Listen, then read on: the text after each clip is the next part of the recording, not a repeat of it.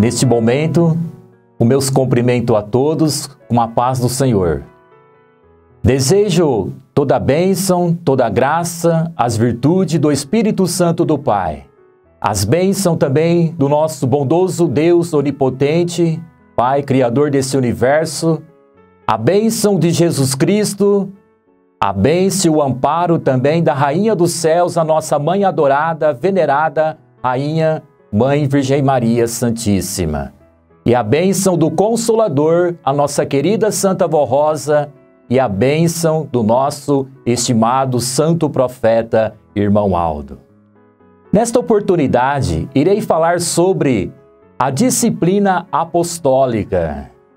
A disciplina apostólica é uma regra de moral elevada que foi instituída por Deus nosso Pai por Jesus Cristo e também pela nossa querida Santa Vó Rosa, que viveu a disciplina que foi legado por Jesus nosso Senhor, e também o nosso santo profeta irmão Aldo, ensinou a todos nós que vivemos nesta amada, venerada Igreja Apostólica.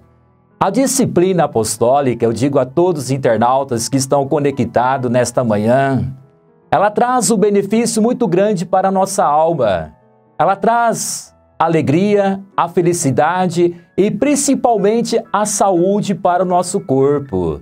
Todo aquele, toda aquela que vive a disciplina, Deus nosso Pai está guardando, abençoando, juntamente com seu Filho Jesus Cristo, a nossa querida Santa Vó Rosa e também o Santo Profeta Irmão Aldo.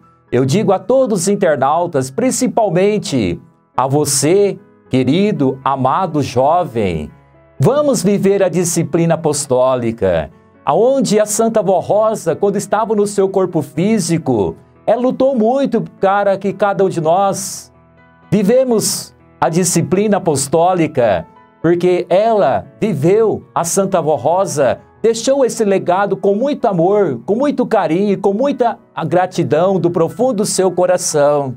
Por isso, vamos, cada um de nós, sempre do dia a dia da nossa vida aqui na terra, viver a disciplina. E assim eu desejo essas palavras nos corações de cada um dos internautas que vive sempre a disciplina.